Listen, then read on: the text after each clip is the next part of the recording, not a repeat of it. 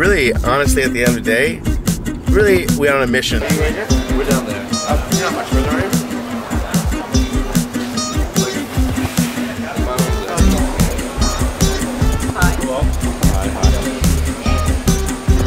We're gonna have like a pretty, pretty much a crash course in documentary uh, news production. I'm looking forward to the experience of meeting these various Jewish communities, of seeing this new culture and how how they have a, a totally different Jewish community than us. I'm super excited. I'm still surprised this is actually happening because it's Yes. always Yeah.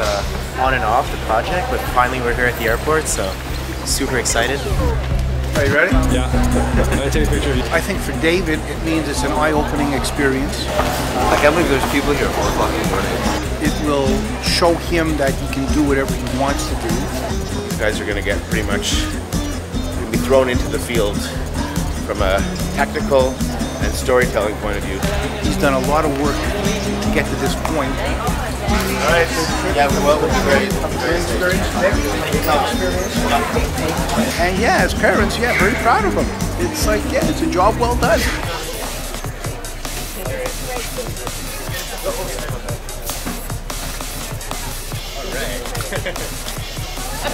I am about to go to the Dominican Republic. Everybody wave. All right. Go. So what, what is the problem?